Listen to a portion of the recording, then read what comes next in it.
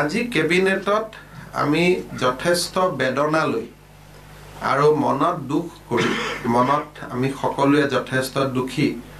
কিন্তু অসমৰ জাতীয় জীৱনৰ স্বাৰ্থত আৰু এক প্ৰকাৰ ক'ব গ'লে আমাৰ জাতি মাটি ভেটি প্ৰশাসনিক শক্তিক শক্তিশালী কৰা বিভিন্ন দিশৰ ওপৰত আলোকপাত কৰি আমি অত্যন্ত দুখ সহকাৰে কেইটামান সিদ্ধান্ত ল'বলগীয়া হৈছে। মই অসমৰ মানুহক অসমৰ ৰাইজক অত্যন্ত বিনম্ৰতাৰে সৈতে নিবেদন কৰিম যে এই সিদ্ধান্তকেইটা আমি কিন্তু ব্যক্তিগত লাভালাভ বা দলীয় লাভালাভৰ কাৰণে লোৱা নাই। এইটো অত্যন্ত এৰাব নোৱাৰা কামত কামৰ কাৰণেহে এই সিদ্ধান্তকেইটা আমি বছৰৰ শেষৰ দিনটোত ল'বলগীয়া হৈছে। আৰু মই নিজেও এইকেইটা লৈ ভাল পোৱা নাই। কিন্তু কেতিয়াবা দেশৰ স্বাৰ্থত সমাজৰ স্বাৰ্থত প্ৰশাসনৰ স্বাৰ্থত প্ৰয়োজন হ'লে আমি কঠোৰ সিদ্ধান্ত ল'ব লাগে। আৰু এনেকুৱা এটা সিদ্ধান্ত লৈছোঁ আৰু তাৰ কাৰণে যিসকল ৰাইজে মনত অলপ দুখ পাব তাৰ কাৰণে মই তেখেতসকলৰ ওচৰত ক্ষমাও বিচাৰিছোঁ। সিদ্ধান্তকেইটা এনেকুৱা হ'ল যে আমি বিশ্বনাথ জিলা গঠন কৰিছিলোঁ। আৰু ময়ে ঘোষণা কৰিছিলোঁ মোৰ হাতেদিয়েই বহুতখিনি কাম আগবাঢ়িছিল। আজি আমি বিশ্বনাথ জিলাখনক পুনৰ শোণিতপুৰ জিলাৰ লগত একত্ৰীকৰণ কৰিবলগীয়া হ'ল। ডেফিনেটলি বিশ্বনাথৰ ৰাইজে দুখ পাব কিন্তু এইটো কিছু সময়ৰ বাবে লোৱা সিদ্ধান্ত।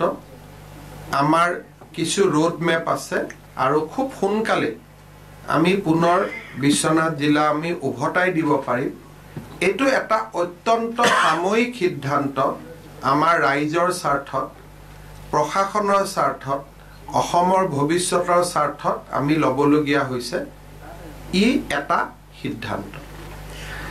দ্বিতীয় সিদ্ধান্তটো হ'ল হোজাই জিলাখনকো আমি নগাঁও জিলাৰ লগত পুনৰ সংলগ্ন কৰিবলগীয়া হ'ল।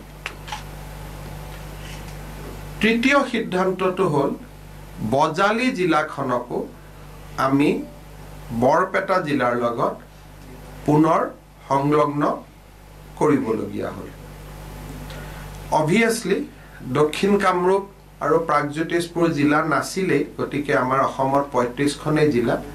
গতিকে এই হোজাই নগাঁও জিলাৰ একত্ৰীকৰণ বৰপেটা বজালীৰ একত্ৰীকৰণ শোণিতপুৰ আৰু বিশ্বনাথৰ একত্ৰীকৰণ আৰু বি টি এ ডি এৰিয়াত তামোলপুৰ আৰু বাক্সাক আমি একত্ৰীকৰণ কৰিবলগীয়া হ'ল।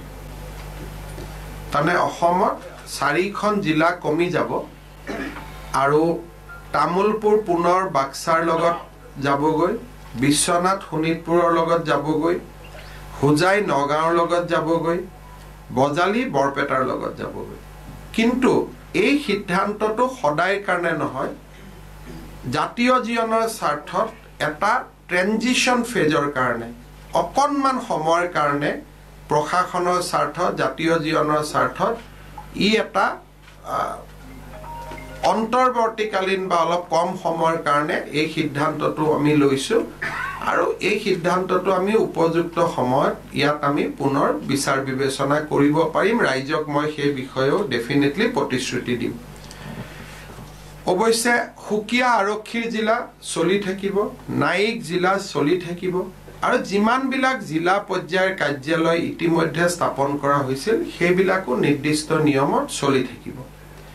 বিভিন্ন জেগাত উপায়ুক্তৰ কাৰ্যালয় নিৰ্মাণ চলি আছে সেইসমূহো চলি থাকিব।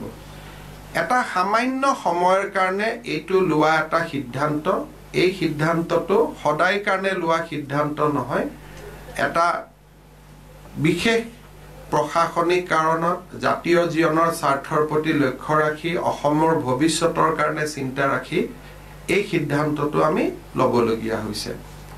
মই অত্যন্ত বিনম্ৰতাৰে হোজাই বিশ্বনাথ বজালী আৰু তামোলপাৰ তামোলপুৰবাসী ৰাইজৰ ওচৰত ক্ষমা খুজিছোঁ। এটা দেশৰ স্বাৰ্থত জাতিৰ স্বাৰ্থত প্ৰশাসনৰ স্বাৰ্থত চৰকাৰৰ স্বাৰ্থত কম সময়ৰ কাৰণে এই সিদ্ধান্তটো ল'বলগীয়া হৈছে। আমি সকলোৱে খুব দুখিত। কালিও গোটেই ৰাতি আমি ইয়াত হোৱা নাই। আপোনালোকে দেখিছে যে ৰাতিপুৱা মই পাঁচটালৈকে ইয়াতে বহি আছোঁ আমি।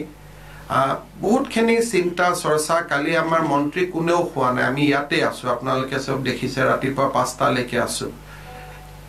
এই সিদ্ধান্তখিনি ল'বলগীয়া হৈছে। মই ৰাইজৰ সহযোগিতা কামনা কৰিম।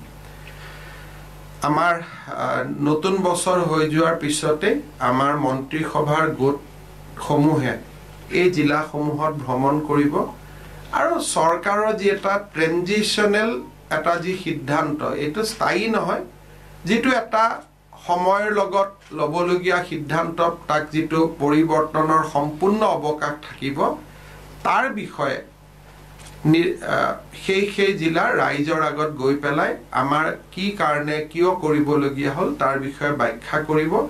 ৰাইজৰ মই সহায় সহযোগিতা আকৌ এবাৰ কামনা কৰিম।